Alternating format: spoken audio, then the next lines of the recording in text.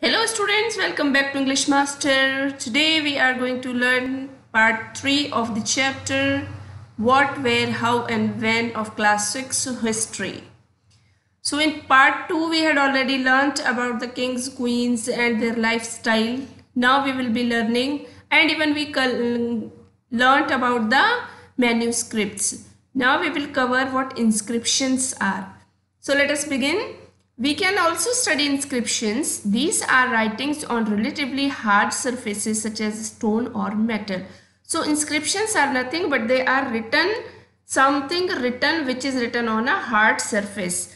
जो hard surface जैसे stone या मेटल पर लिखी हुई जो चीज़ें होती हैं वो इंस्क्रिप्शंस कहलाती हैं sometimes kings got their orders inscribed so that people could see so in olden times what kings used to do they would write on the hard surface and they will post somewhere so that everyone can read it out it doesn't decay it remains there for a longer period of time तो राजा जो लोग होते थे वो अपने order को लिखकर कहीं भी लगा देते थे इंस्क्रिप्शन हार्ड सरफेस पर ताकि लोग उसे पढ़ सकें और वो जल्दी खराब ना हो रीड एंड ओबे देम उन्हें पढ़कर उनका पालन कर सकें There are other kinds of inscriptions as well, where men and women, including kings and queens, recorded what they did. For example, kings often kept records of victories in battle. So there are many kings and queens in the past who also collected all the records and they put them on inscriptions. उन्होंने ऐसा क्यों किया ताकि उनके records को लंबे time तक याद रखा जाए कि कौन से राजा ने क्या काम पास्ट में किया था can you think of the advantages of writing on hard surface? Of course. What is the advantage? That it can it cannot be spoiled in short period of time. It will be there for a longer period of time. And when could have been the difficulties? What? Difficulties क्या होंगी कि हम इन्हें कहाँ रखें? It will take so much of space and keeping them and carrying them also will be a difficulty, right? So this is one example of inscription. The, there were many other things that were made and used in the past. बहुत सारी चीज़ें थी जो past में बनाई गई थी और यूज़ की गई थी Those who study these objects are called archaeologists. So the things which were used in the past, those who study them and find out what they were like हम नहीं पढ़ सकते ये क्या लिखा है so there are archaeologists who will try to find it out the meaning of these inscriptions what is written on these hard surfaces they study the remains of buildings made of stone and brick तो वो क्या करते हैं? ये जो stone और brick पर जो भी लिखा रहता है, वो उसकी स्टडी करते हैं पेंटिंग्स की और स्कल्पचर्स की। They also explore and excavate means dig under the surface of the earth वो अर्थ की सरफेस को खोदते हैं, क्योंकि पुरानी चीज़ें हमें अर्थ की सरफेस में भी मिल जाती हैं। To find tools, weapons, pots, pans, ornaments and coins. So these things are relative to past and people. The archaeologists get to know through these. These are the resources for them जिससे उन्हें पता चलता है कि past के लोगों की lifestyle कैसे हुआ करते थे some of these objects may be made of stone others of bone baked clay और मेटल तो ये कई तरह से लिखे हुए होते थे स्टोन पे या बोन पे या एक बेक्ड क्ले जो मिट्टी होती है, उसको सुखाकर या उसको भट्टी में जलाकर उस पर लिखा करते थे ताकि वो लंबे टाइम तक रह सके और मेटल पर लिखते थे। Objects that are made up of hard imperishable substances usually survive for a long time तो ये इसका क्या है? एडवांटेज है कि अगर हम हार्ड सरफेस पे लिखते हैं तो वो लंबे टाइम तक रहती है। Archaeologists also look for bones of animals, birds and fish. तो आर्कोलॉजिस्ट ने और क्या देखा? बोन्स देखी किसकी? एनिमल्स की बर्ड्स की एंड फ़िश की। क्या पता करने के लिए? To find out what people ate in the past कि लोगों ने पास्ट में उनका खाना पान कैसा था? Plant remains survive for more rarely if seeds of grain और pieces of wood have been burned अगर हमने किसे वुड को जला दिया होता पास्ट में तो प्लांट्स जो हैं वो बहुत कम सरवाइव कर पाते, वो नहीं होते। दे सर्वाइव इन अ चैर्ड फॉर्म वो चैर्ड फॉर्म में सर्वाइव करते हैं। Do you think cloth is found frequently by archaeologists क्या आपको लगता है कि आर्क्योलॉजिस्ट जो हैं क्लोथ्स भी फाइंड आउट करते थे? Historians that is scholars who study the past so till now we learnt about the archaeologists archaeologists are the people who find out the remains under the hard surface under the surface to find out what had happened in the past now we will learn about the historians are the scholars who study the past ये लोग वो होते हैं जो past की study करते हैं often use the word source तो ये books से पढ़ते हैं आर्कियोलॉजिस्ट टूल से देखते हैं और हिस्टोरियंस बुक्स से देखते हैं to refer to the information found from manuscripts, inscriptions and archaeology. तो ये इन पर लिखी हुई चीज़ें क्या है? वो उनसे हिस्ट्री को जो है पता लगाते हैं। वंस सोर्सेज आर फाउंड जब सोर्सेज मिल जाते हैं learning about the past becomes an adventure तो ये उनके लिए एक एडवेंचर हो जाता है। They want to learn more and more what had happen in the past as we reconstructed bit by bit जब वो उसे रिकन्स्ट्रक्ट करते हैं थोड़ा थोड़ा करके, तब उन्हें वो बहुत एडवेंचरस हो जाता है। So historians and archaeologists are like detectives who use all the sources like clues to find out about our past तो ये कैसे एक्ट करते हैं? They become just like a detective and they find out what had happen in the past and they enjoy doing it अब question आता है one past और many हमारे कितने पास्ट हैं? Did you notice the title of this book our past We have used the word past. So that means so many in plural to draw attention to the fact that the past was different for different group of people. इस past का मतलब हुआ कि जितने भी जो हमारी अर्थ पे लोग रहते हैं, वो अलग अलग हैं अलग अलग ग्रुप्स में हैं और उनके पास्ट भी अलग अलग तरह के हैं।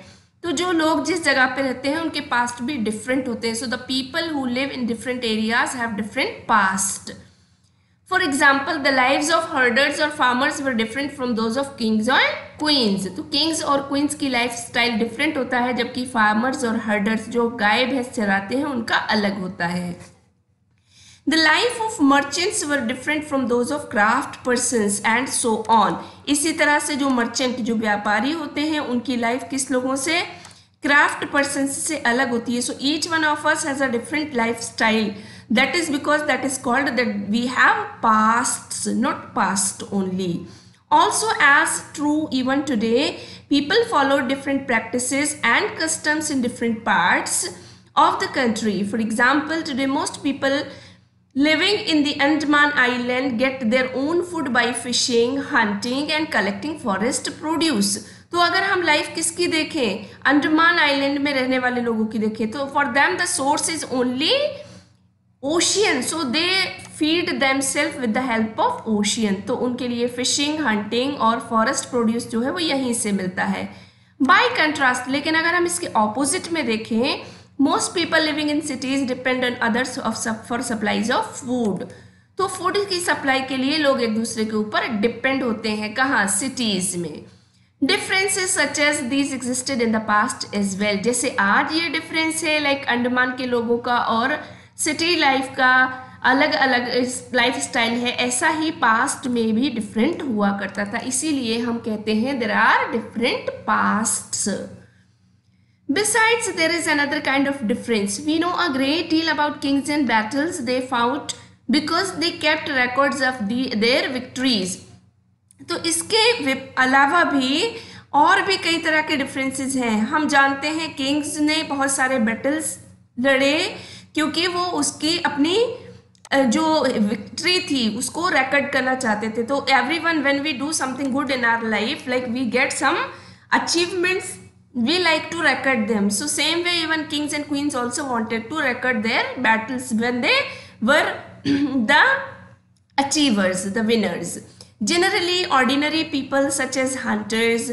fishing folk gatherers farmers और herders did not keep records of what they did अब ये लोग कैसे होते थे? ये ऑर्डिनरी लोग होते थे तो इसलिए इन्होंने अपने रिकॉर्ड नहीं रखे। While archaeology helps us to find out about their life there is much that remains unknown हमें आर्कियोलॉजी बहुत कुछ बताती है बट अभी भी बहुत कुछ ऐसा है जो कि अननोन है, जिसकी स्टडी हम नहीं कर सकते। That is the lack of resources still we don't know about many people how and what kind of life they lived in the past now the question is what do dates mean date का क्या meaning है? Past से कैसे relate है? If somebody ask you the date you'll probably mention the day month and year two thousand and something like that this year are counted from the date generally assigned to the birth of Jesus Christ the founder of Christianity तो Jesus Christ कौन थे? Christianity के founder थे। उन्होंने इसको, जो dates हैं, उनको और मंथ को उनकी बर्थ से जनरेट किया गया है। So two thousand means two thousand years after the birth of Christ तो टू थाउज़ेंड का मतलब क्या हुआ उनकी लाइफ के, उनके जीवन के या बर्थ के पैदा होने के टू थाउज़ेंड ईयर के बाद की बात है all All dates before the birth of Christ are counted backwards and usually have the letters BC. BC means before Christ. उनके पैदा होने से पहले जो भी dates हैं, उसे हम इस तरह से लिखते हैं, added on. In this book, we will refer to dates going back from the present using 2000 as our starting point. तो इस बुक में हम डेट्स का क्या मतलब है 2000 को हम स्टार्टिंग पॉइंट लेंगे और उसके पीछे की हम सारी पास्ट को पढ़ेंगे so here is this is letters with dates की बी का बिफोर क्राइस्ट के लिए खड़ा होता है ए डी जो होता है वो आफ्टर डेथ के साथ खड़ा होता है and C E is standing for C C D A D B C E instead of B C the letter C stand for common era and B C E for before common era तो ये सारे letters हैं जो पहले use किए जाते थे। We have seen that inscription are written on hard surfaces many of these were written several hundred years of ago all inscription contain both script and languages languages which were use as well as script have changed over time. So, how do scholars understand what was written? This can be done through a process known as decipherment. तो जो hard surfaces पे उन्हें लिखा मिलता था, कुछ तो ऐसे ही रिटर्न होता था और कुछ पिक्चर्स में होता था तो लैंग्वेजेस और ये इस तरह की साइंस उनको समझ में नहीं आते थे तो इस प्रोसेस को क्या कहते हैं अंडरस्टैंड करने के लिए कि क्या लिखा है या क्या कहा गया है इसके थ्रू उसे हम डेसीफरमेंट कहते हैं कि how to find out what is written So this is the way they try to find out here. One of the most famous stories of decipherment comes from Egypt, a country in North Africa, where there were kings and queens about 5,000 years ago. So, this story here: Rosetta is a town on the north coast of Egypt, and here an inscribed stone was found, which contained inscriptions in three different languages and scripts. ये किस किसमें लिखा हुआ है? Grips में और दो forms और है Egyptian scholars who could read Greek figured out that the names of kings and queens were enclose in a little frame called a cartouche तो उनके नाम जो थे वो किसमें? कटाउच में लिखे हुए थे। They then place the Greek and Egyptian sign side by side और उन्होंने उन साइंस को एक साथ लगाया। And identified the sounds for which the Egyptian letters stood और उसके साउंड से उन्होंने ज्ञात किया कि वो किसके लिए खड़े होते थे as you can see a line stand for L and a bird for A. Once they knew what the letters stood for, they could read other inscriptions as well. So here is the example. This is P, this is T, this is O, L for lion. See, this is how they have put. These signs have been put and these are given the letters and this is how they were able to break it and find out what was written in the past. So students, the chapter is over. I hope you understood this really well and you will be able to do the exercise on your own. Do subscribe the channel. Keep updated yourself. We'll soon meet in the next chapter and in the next, uh, next uh, video. Till then, take care. Bye-bye.